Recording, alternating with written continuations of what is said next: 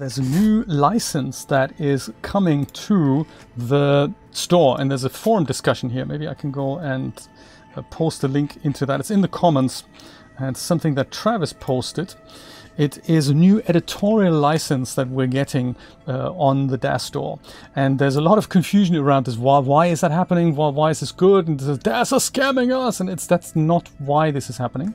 It's an editorial license that allows PAs to sell items that we cannot use commercially. This is a big deal because other marketplaces already have a license like that in place and they allow content creators to sell things that the customer isn't allowed to make money with. So as an example, I could make a Spider-Man outfit that looks really cool as a fan art appreciation type thing.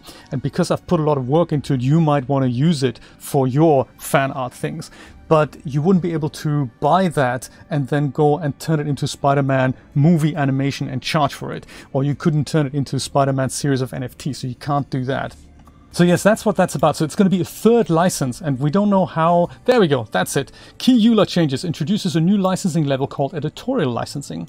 This allows for a new type of content to be restricted to non-commercial purposes. So it means that if if I wanted to sell my Spider-Man outfit, I can now go ahead and do that through the Daz store. So that's the big deal. That's why this is important.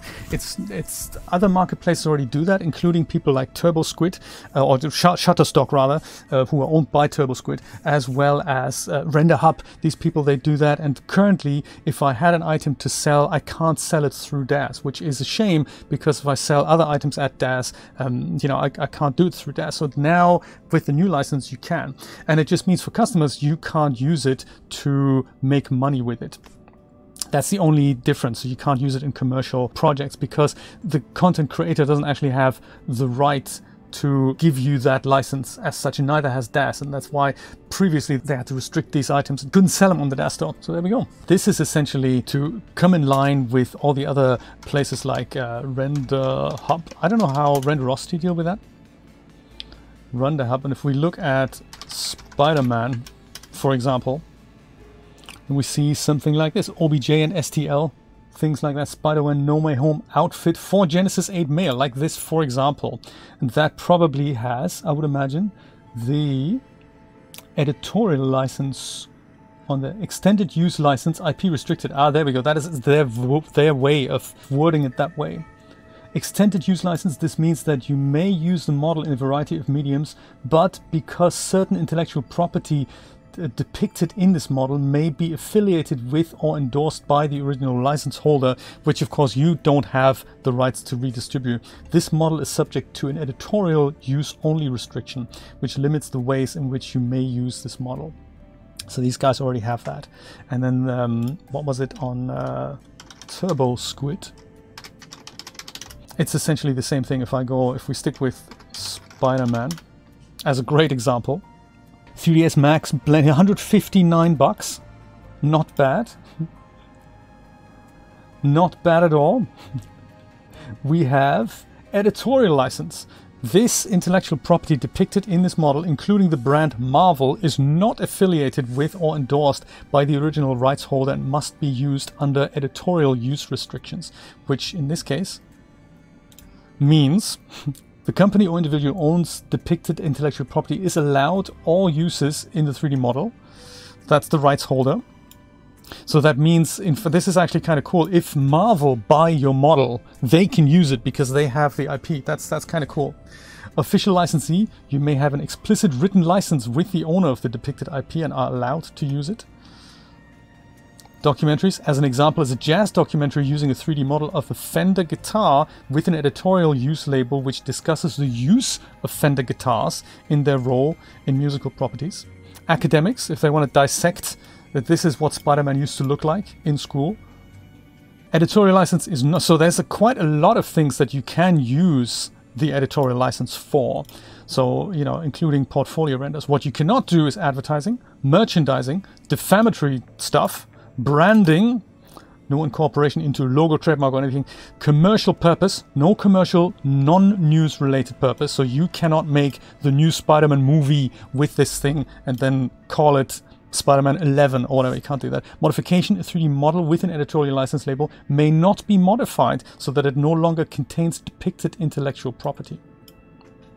So I don't really know how this relates to do you need to get permission from Marvel before you can put your Spider-Man fan art 3D outfit onto any of the stores? I don't know how that works, but that is basically what this editorial license is all about. So it's not about Daz wanting to scam us, quite the opposite. They're going to give PAs a new opportunity to sell stuff they weren't allowed to sell before on the Daz store. That is what this is about. No, I think, Chris, it does allow fan art. I think that is the, the point of the editorial licenses because there is a huge user group of, of Daz Studio that I didn't even know existed that use this not to make VNs or renders or commercial projects. They, they simply use this, like Neko is a good example. I, I don't know if he's here, but he would be he would be in that category. He does this because he produces fan art and, and that is that is essentially what he does. And for those people, they sometimes want things like if I needed the Aloy outfit because I wanted to make whatever a thumbnail for an upcoming stream of this, I could use that. That's that's a possibility, but I could not then make a limited edition print of it and sell it, or I can't make an NFT with it and sell that. So I can't do that. I think that's what it's about. So it is. It's still that grey area that. Um, so technically, I suppose the right the license holder could still go after this guy because they could say, hey, look, you're using our intellectual property in a product and you're making cash. So either you need to give us a percentage of that. So I don't know if that is included in this, or they could take him down. So I know that from my own experience with doing something similar in regards to fan art when I used to make iOS apps.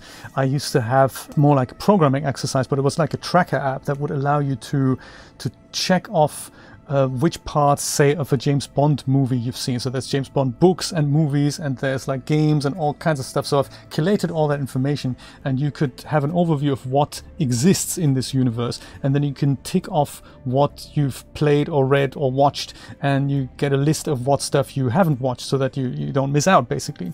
And it was like you know 99 cent app, and uh, I did this for several of these types of properties, like you know uh, Poirot detective novels and uh, all, all kinds of other things, and each and every time the license holder came after me to say you have to take this down. You're not even allowed to use this in a logo in the name. You can't you can't do that. So back then and this is this is almost 10 years ago now back then this whole fan art thing I think companies weren't quite as open as they are today because otherwise if I type in Spider-Man on TurboSquid, I wouldn't be getting 150,000 results Would probably getting zero. And because they know this exists, so they could go and report these products, but they choose not to do that because it's kind of nowadays we realize it's actually good for your brand to have these types of items out there and have people playing with the thing because then they're more more uh, likely to buy licensed products or you know buy into this whole universe.